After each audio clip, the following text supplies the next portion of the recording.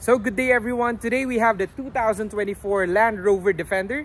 This is going to be a full in-depth review of the exterior, interior, and engine details of the Defender.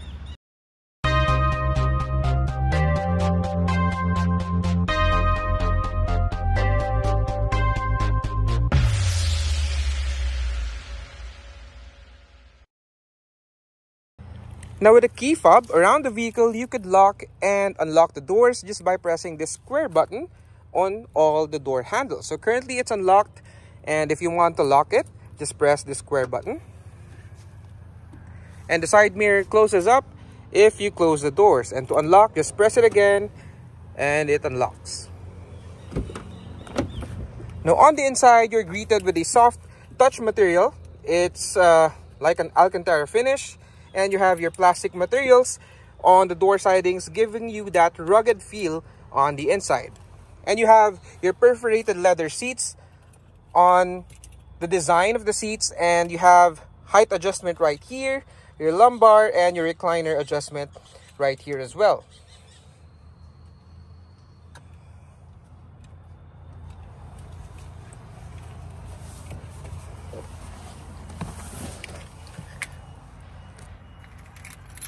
Now, with the key fob inside the vehicle, you could start the accessories just by pressing this button.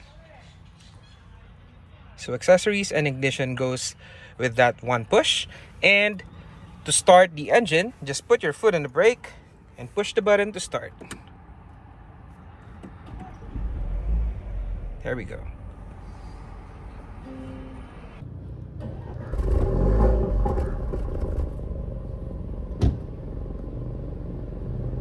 Now on the inside, you are greeted with a four-spoke steering wheel covered in leather.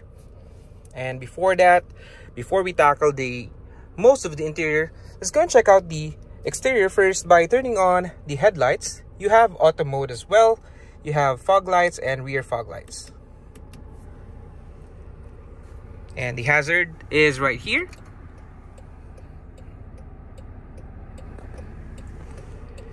And all the windows are automatic up and down.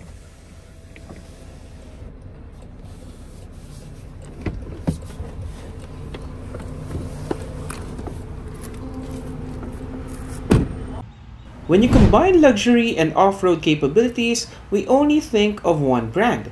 It is the Land Rover from Britain. Combining both off-roading and luxury can be hard, but the Land Rover has always done it for more than the past seven decades. I love this bit. It's, it's very mm. from rolling down. Norfolk, isn't it? Now anybody can say the Norfolk is flat, right? It's so luxurious that even the late King George VI gave it a royal warrant in 1951. Having a royal warrant gives you the right to advertise that you actually supply your goods to the royal family and they actually use your products, giving you that image of a very prestige company. The Land Rover Defender was first introduced in the 1980s and it became an icon as the British boxy off-roader.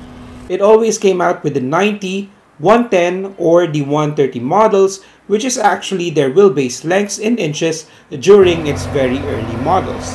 What we have here is the 110 model which is the best seller of them all. It has 4 doors for passengers and a good amount of storage space on the back. The new Defender which was launched just before the pandemic is known as the L663 model and it was a very refreshing look from its predecessors. It still has that boxy body on it but updated the design overall to the modern standards. It features LED lights around the exterior, an adjustable air suspension, and a ton of modern features for your everyday luxury off-roader. The overall exterior looks, in my opinion, is most likely well thought out, retaining that classic look of the Defender but instilling that modern touch on the vehicle. So if you want a conclusion, it's basically two words luxury, and off-road. That is what the Land Rover Defender is. And let's go and pop the hood and check the engine.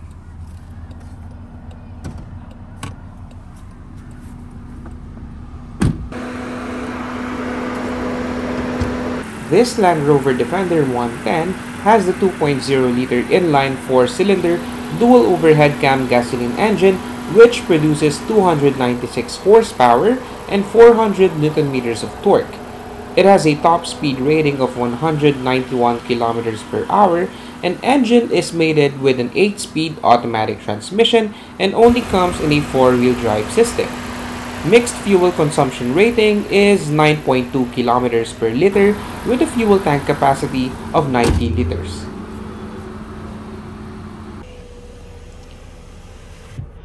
Let's give her a few revs and check how the engine sounds.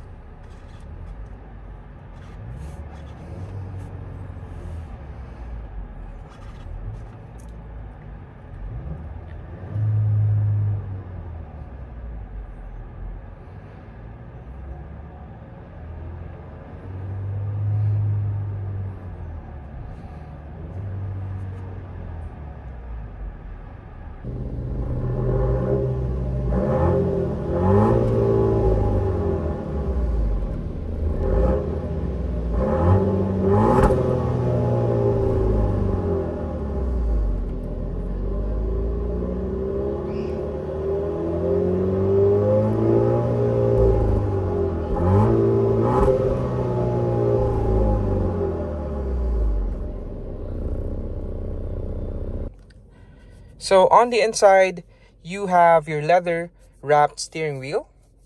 Now on the left side of the steering wheel, you have your controls right here, mainly for the gauge cluster, which we'll tackle on later. You have your voice command and your rocker right here.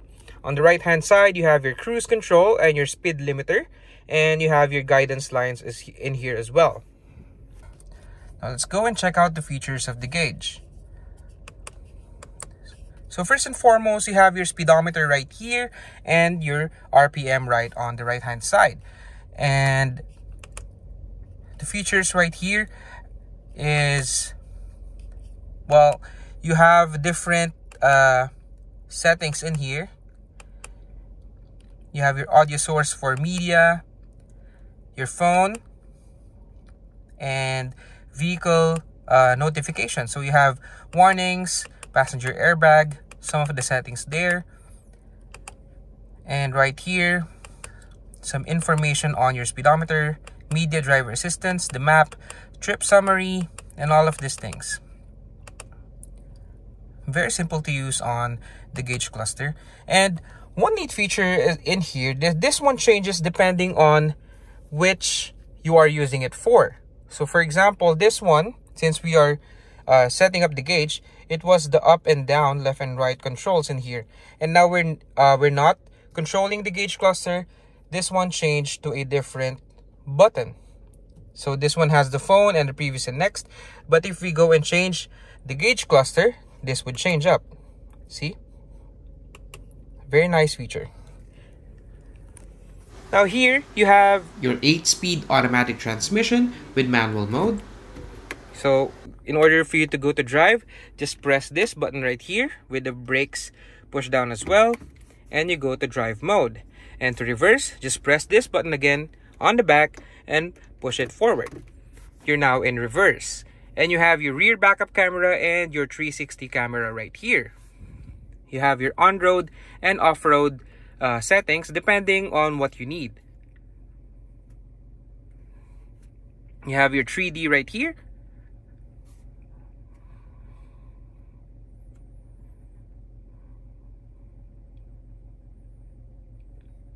Very nice. And to park, just press the P button. Now in here, you have your controls for the drivetrain and your air conditioning system. First and foremost, we open the air conditioning system. We turn on this fan right here and this one's lit up on orange and you can adjust the fan speed.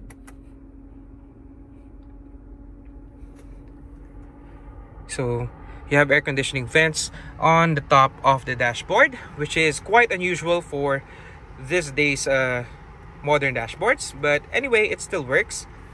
And you have your temperature right here dual zone climate control. Uh, you have your temperature on the driver's side and on the passenger side as well. Your defoggers for the front and back shield different zones. And this one is your selector for which terrain you are driving into. So you have mud, sand, rock crawl, grass, gravel, and comfort. So it it has a lot of uh, features. The Defender is known as the vehicle that you could bring anywhere technically, and this one automatically gives you the right settings uh, on depending on which terrain you are driving on. But for now, we're just going to pick Eco mode. So this one, you have your height adjustment for your suspension. So this one has air suspension. You could adjust the height to go up and to go down right here, which I will show you on later. You have traction control and your hill descent control as well and your automatic uh, ignition. So I think that's about it on this center panel. Uh, it looks uh, complicated at first, but it's quite easy to understand. Right here, you have Type C USB and Type A. Let me tone down the the fans. So you have Type C and Type A and your power outlet right here. Big amount of storage in here, which is uh, rubberized, not entirely made of plastic. And right here on the middle, you have cup holders and another pocket in here, probably for your cell phone. And this one, you have your container or storage compartment right here. And this one folds all the way down, probably for another storage area for the back seats, which is nice. In here, you have your rear view mirror, which is frameless, which looks elegant. Window visors with LED lights. And here on the dashboard, you have this accent right here, which has that soft touch material that goes around the vehicle right here and even on the center console feels really nice you have pockets in here as well and right here and right over there as well with of course the defender logo. Now let's go and tackle the entertainment system or the head unit. So this is the home screen and you are you have your phone connectivity right here via bluetooth of course.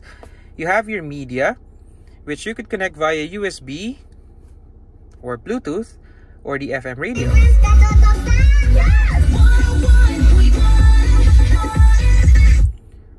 So yeah um speakers around the front cabin. You have the door speakers and the tweeter speakers right there. And you have your slope assist. So currently on this platform we have right now let me check that one. So we're currently on the descent slope. And right here we are on the positive side. So uh, the car is slightly tilted to the right so this would tell you that you're on a flat surface or on a not so flat surface actually.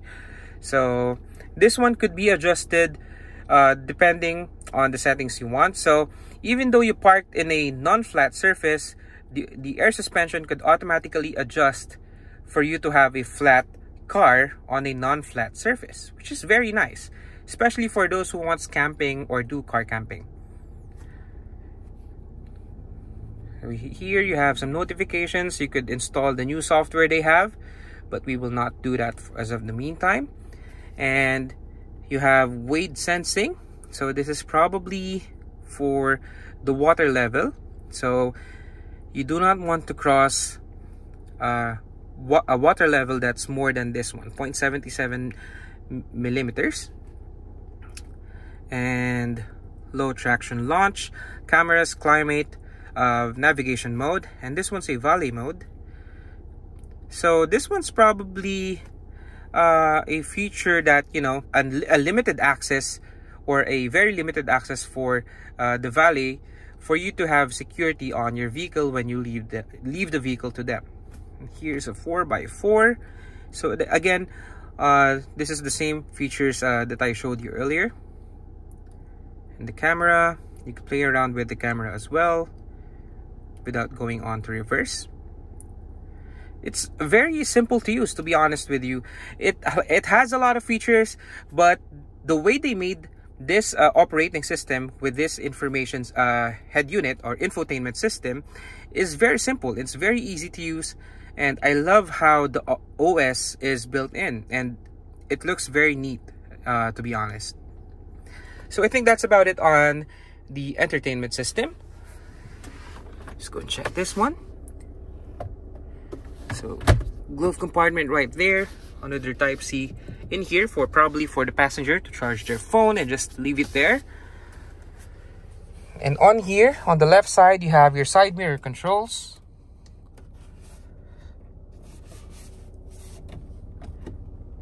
There we go. Your window controls. And on the left side you have your handbrake or your electronic parking brake the unlock and lock door buttons and that's it. This is the door handle right here and you have a small pocket in here for some documents or whatever you want to put there. So i think that's about it in the front of the defender. Let's go and check out the rear seats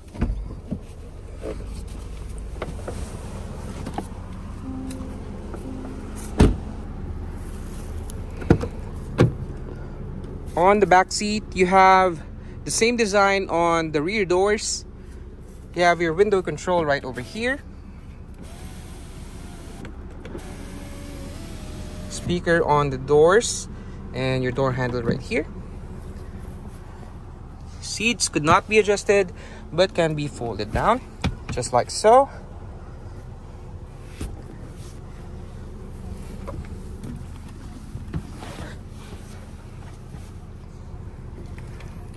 So, seat in here is quite roomy, to be honest. And the headroom, of course, this is a tall vehicle. You would expect a lot of headroom right here. Not much problem on that one. And uh, on the back, you have the perforated seats as well. You have your armrest in here with your cup holders. Air conditioning vents on the back which is very nice for a very humid country like the Philippines. You have USB chargers in here, both type A and a slot in here for some of your stops you want to put there. And you have this net, back net on both the front seats for extra storage. LED lights. There we go. And one unique feature is this one right here. It's like a small window for the sun to come in and give light on the inside. I think this one really suits well. On some instances you want to sleep on the back of the range rover. I've seen some videos like fish 13 uh, this one folds down the seats and you you put on some inflatable or portable bed and this one serves or this one right here serves as your sunlight which is quite nice and here's the front view of the 2024 Land Rover Defender. It looks very sleek, especially with the colorway that they put in. It has that modern and ex exquisite feeling, but at the same time, it feels very rugged. You see the off-roady feel on those that uh, door panels right there, but when you go in here, it feels very luxurious. So you have the best of both worlds. It doesn't mean your vehicle is an off-roader. It doesn't uh, mean that it's not comfortable or luxurious. In the Land Rover, you get the best of both worlds. Very nice. So let's go and check out the cargo area in the back.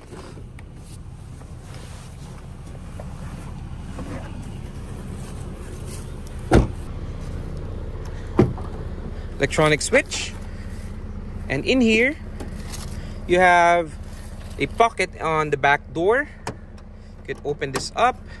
And you have your tools for the roadside assistance or the roadside emergencies. And in here you have a compartment area for all your stuff. So I know it's a bit messy but you get the gist.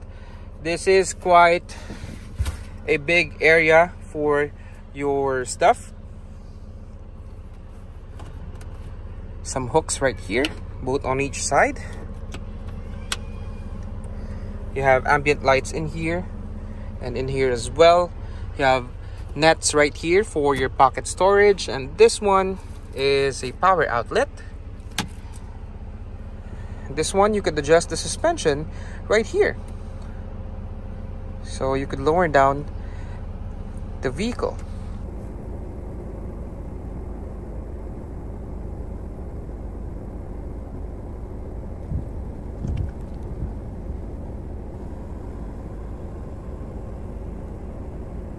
So it went down. So you can see the level right here. And if you want to rise it up, just press this button.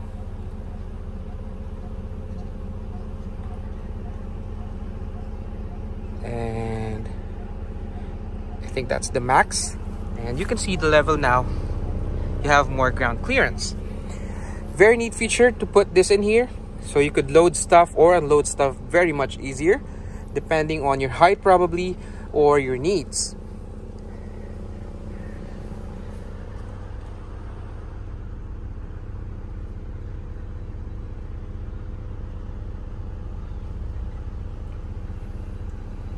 And those seats can also be folded down for more cargo area here. Let me show you.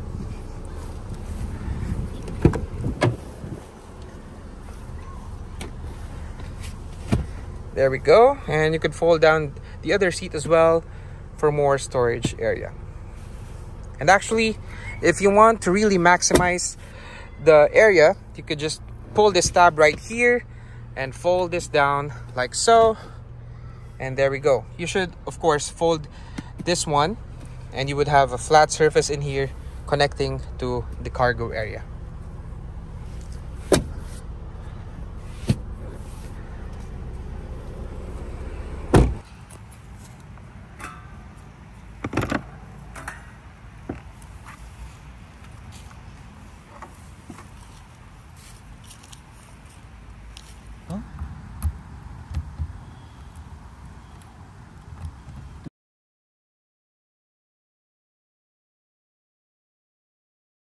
So I hope you enjoyed the full review of the 2024 Land Rover Defender.